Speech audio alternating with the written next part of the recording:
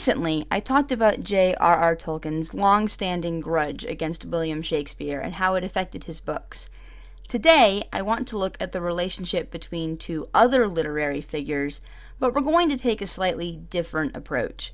I want to talk about two very interesting authors and the time they almost probably definitely had sex.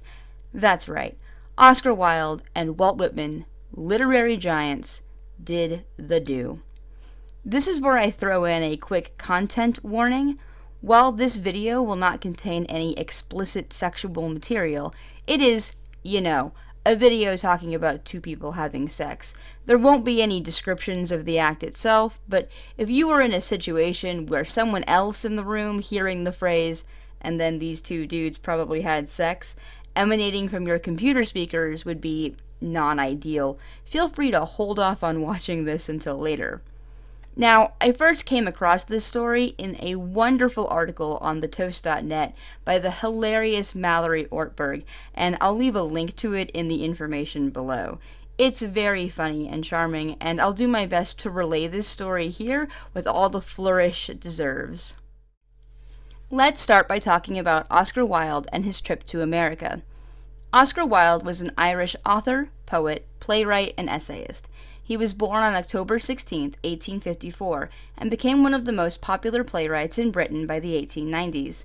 These days, he is most well known for The Picture of Dorian Gray, The Importance of Being Earnest, and being spectacularly posh and flamboyant.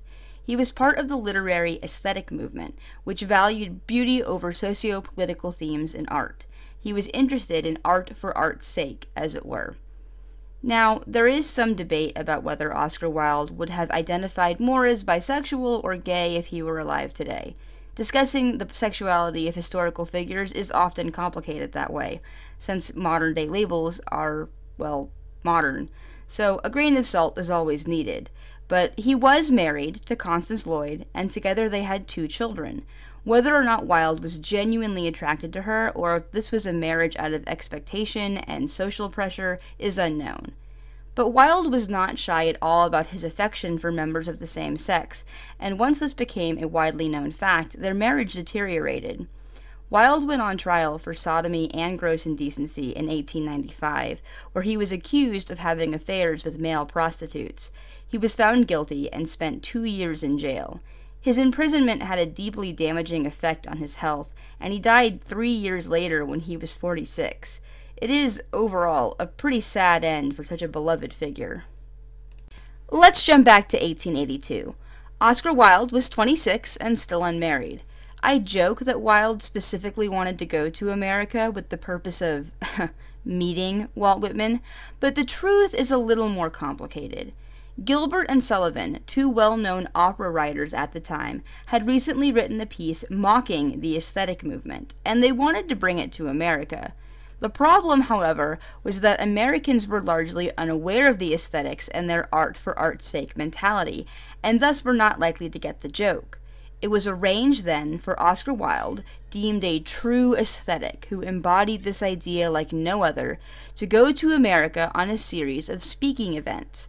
This would introduce the American public to the idea of aestheticism, and Wilde was pleased for the opportunity to make a name and some money for himself so early in his career. Once in America, though, he made it very clear that he very much wanted to meet Walt Whitman. When he was asked, What poet do you most admire in America? by a reporter, he replied, I think Walt Whitman and Emerson have given the world more than anyone else. I do so hope to meet Mr. Whitman. And I admire him intensely. There is something so Greek and sane about Whitman's poetry. It is universal, so comprehensive. So, who is this master poet that the young, dashing Oscar Wilde was so enamored with? Walt Whitman was an American poet, essayist, and journalist. Born May 31, 1819, he was a humanist, blending both realism and transcendentalist views in his works. He worked as a nurse during the Civil War and greatly admired Lincoln. He penned the poem "O Captain, My Captain" in his honor after Lincoln was assassinated in 1865. He is best known for his poetry collection Leaves of Grass. He was pretty opposed to alcohol and supported prohibition. He was a deist and generally skeptical of any organized religion. Like Wilde, his sexuality is somewhat debated. He never married or had children, though there are some accounts he may have had some illegitimate children, these are unconfirmed. But he did have a strong, possibly romantic relationship with New York actress Ellen Gray and kept a picture of her in a locket for many years. But there is little doubt that Whitman's most enduring relationships were with men. There are many men in Whitman's life who are thought to have been involved with him, including Peter Doyle and Bill Duckett. His poems, too, are filled with homoerotic subtext, particularly Calamus. At the time the poems were published, one reviewer, Rufus Wilmot Griswold, suggested that Whitman was guilty of, quote, that horrible sin not to be mentioned among Christians.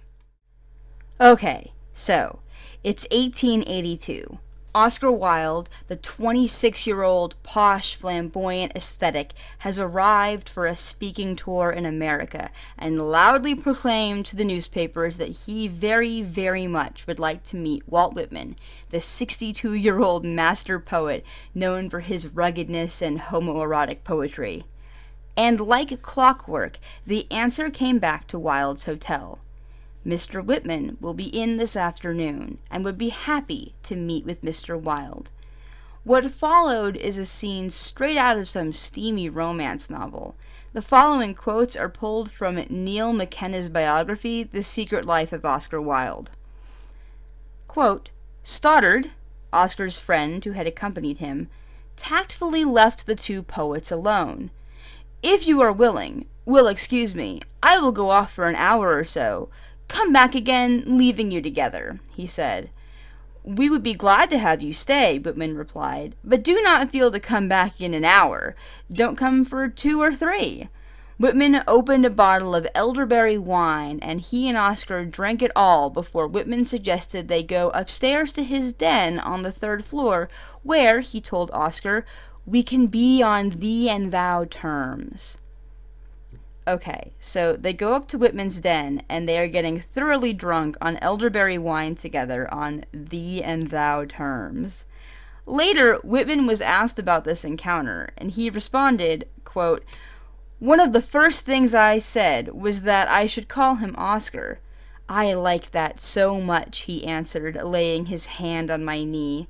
He seemed to me like a great big, splendid boy. He is so frank and outspoken and manly. Again, I need you to imagine this with me. Oscar Wilde and Walt Whitman drinking elderberry wine in Whitman's small, cluttered third floor writing den. Oscar Wilde placing his hand on the other man's knee. So outspoken and manly indeed. The biography continues. Quote, Stoddart went on to say that after embracing, greeting each other as Oscar and Walt, the two talked of nothing but pretty boys, how insipid was the love of women, and of what other poets, Swinburne in particular, had to say about these tastes. This is just beautiful to imagine. Walt, I hear America singing Whitman, chatting about pretty boys and the insipid love of women, with Oscar, the love that shall not be named Wilde, over a bottle of elderberry wine. But, you may cry, this is all so circumstantial. Just because you have two queer poets who greatly admired each other, getting drunk alone on homemade elderberry wine, chatting about pretty boys, left alone to be on thee and thou terms for several hours, doesn't mean they had sex. And I know, but I need you to hang on for one more glorious excerpt. After this meeting, Wilde was asked by a friend, Ives, about it, and, quote, Oscar told Ives that there was no doubt about Whitman's sexual tastes. I have the kiss of Walt Whitman still on my lips, he boasted. The kiss of Walt Whitman still on his lips, folks. What else can I say, honestly? So, yeah, Thanks for watching this video. This channel is still really new, so I always appreciate comments and likes. I'll be sure to see y'all down in the comments. And as always, if you enjoyed listening to this queer millennial feminist with a BA in English, feel free to subscribe.